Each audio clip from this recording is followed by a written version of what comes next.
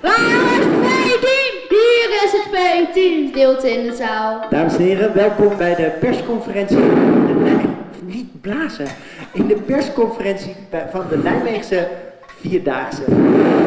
Ja, goedemorgen dames en heren en ook eh, wat verstopt achter de camera's enkele jongens en, eh, en meisjes. Leuk dat jullie er ook eh, bij zijn. Het is mooi dat de Vierdaagse is uitgeroepen tot het beste publieksevenement van Nederland. Waar bent u nou het meest trots op bij de Vierdaagse? Nou, dat het mensen de hele wereld overreizen, uit Japan, uit Canada, eh, eh, uit Afrika, om, om hier in Nijmegen eh, vier dagen een verschrikkelijk rot eind te gaan lopen.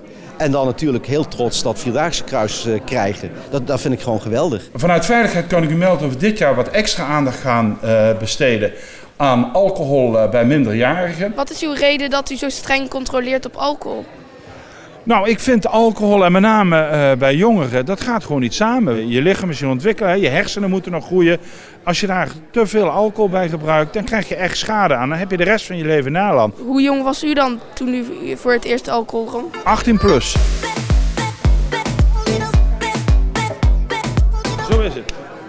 Alsjeblieft. Nou, heel veel dank jullie wel. Wij lopen allemaal de Vierdaagse. Heeft u nog tips voor ons? Je moet uitkijken dat je de eerste dag, als je nog lekker fit bent, dat je dan niet te hard van stapel gaat lopen. Hè? Dat je denkt, nou, het gaat allemaal lekker. Eh, je moet je krachten over vier dagen zien te verspreiden. Zorg dat je goed drinkt, zorg dat je goede kleding hebt en zorg ook dat je goed gegeten hebt. Dat zijn allemaal dingen die zijn veel belangrijker dan waar mensen het allemaal over hebben, namelijk blaren. Blaren kunnen heel goed behandeld worden, dat is allemaal niet zo spannend meer.